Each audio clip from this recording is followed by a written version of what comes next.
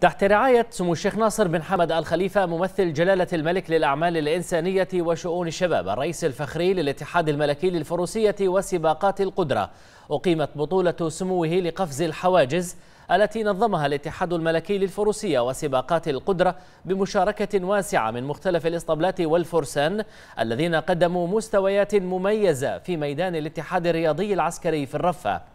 وبهذه المناسبة أكد سمو الشيخ ناصر بن حمد الخليفة أن المتتبع لمسيرة بطولات قفز الحواجز في مملكة البحرين يدرك حجم المسيرة الناجحة لهذه الرياضة التي بدأت بحصد العديد من الإنجازات الخارجية في الفترة الماضية حيث إن هذه الإنجازات نتاج جهد الاتحاد الملكي للفروسية وسباقات القدرة عبر تنظيم البطولات المحلية التي تنعكس بالإيجاب على المشاركات الخارجية.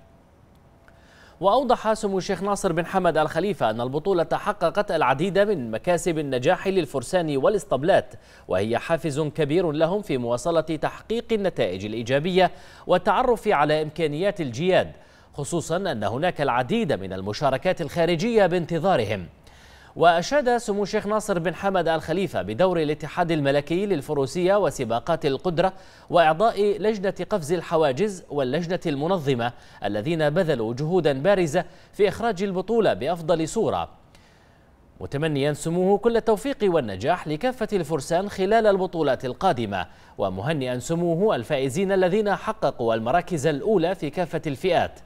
هذا وشهد ختام البطولة تتويج الفائزين بالمراكز الأولى حيث أعرب الفرسان عن بالغ شكرهم وتقديرهم إلى سمو الشيخ ناصر بن حمد الخليفة على دعم سموه المتواصل لهذه الرياضة العريقة.